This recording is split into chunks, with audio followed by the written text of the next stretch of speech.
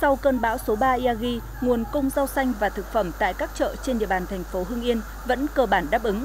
Tuy nhiên, mức giá của các loại thực phẩm và rau xanh tăng nhẹ so với trước.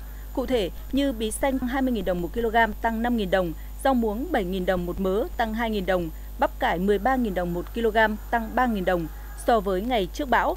Giá các loại hải sản cũng có biến đổi tăng từ 10 đến 40.000 đồng 1 kg như tôm 300 đến 320.000 đồng 1 kg, chả cá mực 230.000 đồng một kg. Giá các loại thịt vẫn giữ mức ổn định như thịt lợn giá từ 110 đến 150.000 đồng một kg, thịt bò có giá 240 đến 250.000 đồng một kg. Theo ghi nhận hôm nay, lượng người mua và bán thực phẩm tại các chợ trên địa bàn thành phố vắng hơn mọi khi.